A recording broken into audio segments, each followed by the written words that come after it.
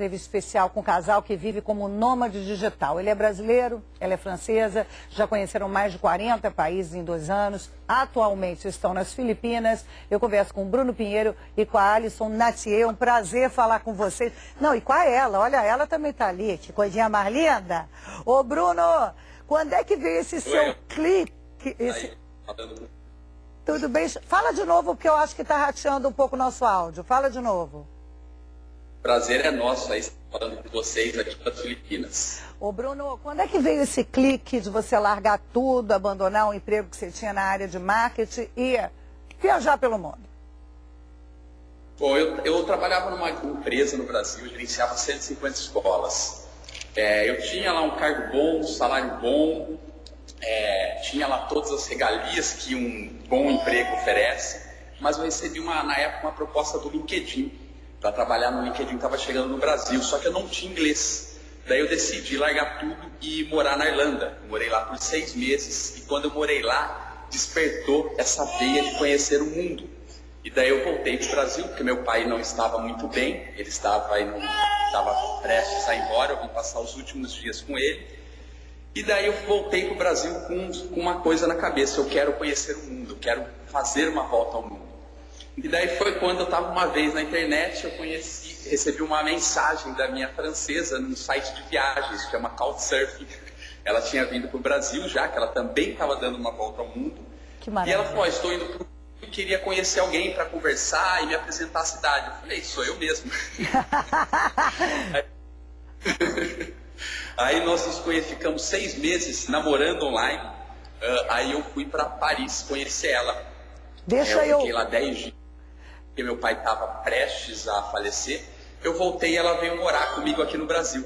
Eu tenho... a gente ficou seis aqui no Brasil e saímos para o mundo. Eu achei sensacional que vocês saíram o mundo, por o mundo com muita coragem, que inclusive a Alison está grávida de novo, né? E está com essa criança de um ano que faz o maior sucesso nas redes sociais. É ela no mundo, né? Alison, conta para mim qual foi a maior, a maior aventura que essa criança já viveu, a situação assim mais inusitada, diferente que ela já enfrentou pelo mundo? Então, boa noite. Eu acho que já a vida dela é uma experiência super grande, já é uma aventura, mas eu acho que a maior aventura dela é de ser picada por uma raia. Ai, uma... tadinha. A gente estava na, na Tailândia, na verdade a Alison, a gente estava semana retrasada na Tailândia, ela foi picada por uma raia. E a pequenininha, acho que a maior aventura foi dormir no meio do deserto de Saara, um Opa. acampamento lá. É, nós passamos é, um dia, uma noite lá, e foi bem legal. A gente andou de camelo até o centro do, do, do deserto e ela foi junto com a gente. Na verdade, ela foi, eu aluguei uma caminhonete para ela, porque não dava para ela ir de camelo. Eu aluguei uma 4x4, ela foi lá de ar-condicionado. Nós fomos de camelo e daí nós dormimos lá no, meio do deserto. Ô Bruno, para encerrar, como é que é o seu negócio? Né? Como é que você faz para ganhar dinheiro? Como funciona então esse, esse jeito nômade digital? Legal. É, essa é uma nova profissão que está chegando no Brasil. Nos Estados Unidos ela já está bem fixa, já tem muitas pessoas fazendo isso. Dois anos para cá chegou essa profissão no Brasil, que são infoprodutores, pessoas que vendem o conhecimento. Então hoje, ó, essa foto aí que vocês estão vendo é ela com o David Beckham. Mas eu soube que ela desprezou o David Beckham. Desprezou o David Beckham. Estava todo mundo querendo tirar foto com ela e ela decidiu, ela está se adorando, vendo? Ela decidiu, ela veio, ela falou não para ele. Eu falei, isso mesmo, filhinha, do jeito que o papai. Mas voltando aí, como eu faço para ganhar dinheiro? É, eu já construí diversos negócios online a vida inteira. Hoje em dia eu inspiro e ajudo pessoas a construir negócios online. O, o, meu grande público ele é o profissional liberal e autônomo que quer conquistar a sua independência financeira.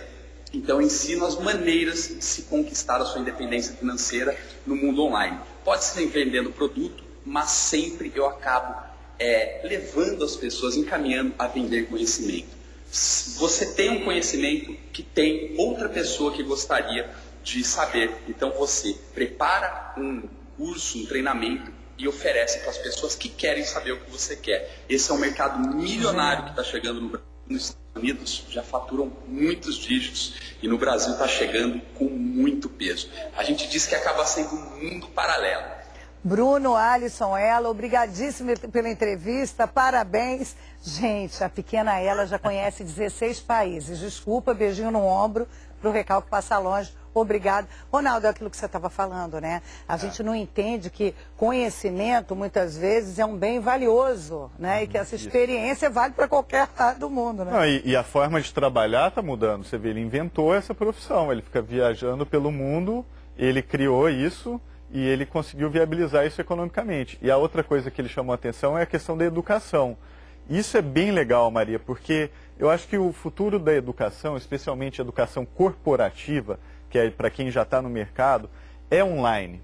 É você falar com outras pessoas que sabem um conhecimento específico que é bom para sua empresa, para o seu trabalho, e você aprender com elas diretamente. Então, eu acredito muito que o futuro dessa educação corporativa passa totalmente pela internet. Flavinha? Maria, não queria lembrar que nesse processo aí de mudança do nosso mercado de trabalho, né, no ano passado, além do aumento do desemprego, a gente viu uma migração muito grande de quem é, perdeu aquele é, modelo tradicional de emprego com carteira assinada se transformando em empreendedores, seja via é, trabalho autônomo, seja via é, montagem de empresas, pequenos empregadores.